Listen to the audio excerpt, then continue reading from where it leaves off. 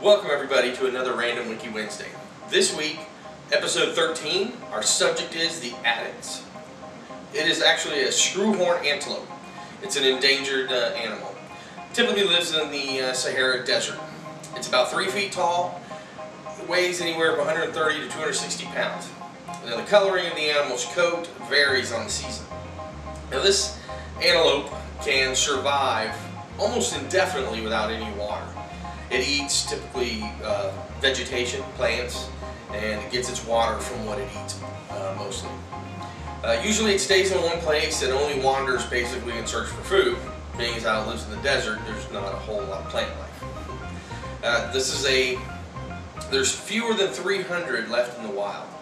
And there's several hundred in fenced-in, semi-wild conditions and there's actually, it's a place in Houston that has them and a place in Tunisia. So now, of course, I really want to go to Houston to check these suckers out. Hopefully one day I can bring that to you on a video, but uh, I'm not going to Houston anytime soon. So, uh, random question of the day. What's, who's your favorite endangered animal? What is your favorite endangered animal?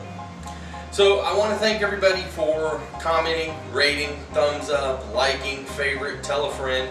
I'm also putting a click to tweet link down below. If you click on that and you have a Twitter account, it'll automatically put what I've typed in there for you as a tweet and you can send that on to people. You don't even have to do anything, you don't have to link. I'll put it all in there. You click on it, it automatically populates what you need to say and you can tweet this for, for me to everybody that is following you.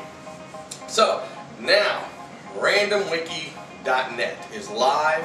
It's out there. It's minimal stuff, but I added a feature this week that I want to see if, uh, if anybody's interested in joining me at. I uh, created a chat room on there, and I'm thinking about 3 o'clock Central Time today, I'm going to be in there. And if anybody wants to come in there and talk about the addax, you want to talk about any of my previous stuff, you just want to talk about random stuff.